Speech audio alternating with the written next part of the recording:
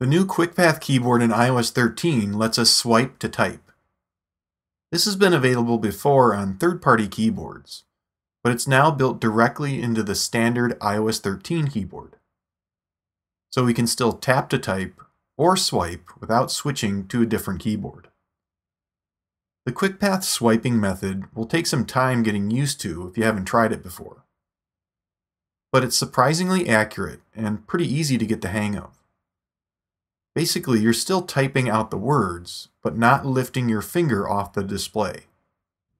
The software will automatically enter the spaces between your words and perform autocorrect.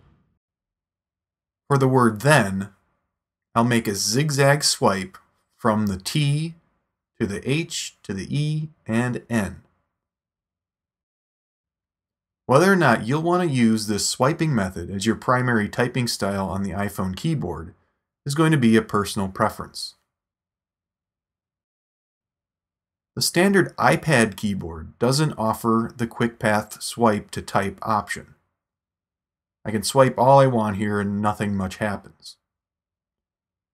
I'd assume this is because the iPad keyboard is just too large for swipe to type to make much sense. But we can now pinch the keyboard to make it smaller here on the iPad. It ends up being pretty much the same size as the iPhone keyboard.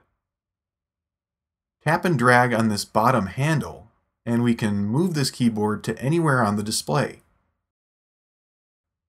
So we can then thumb type with one hand here. Or we can use the QuickPath swipe to type method.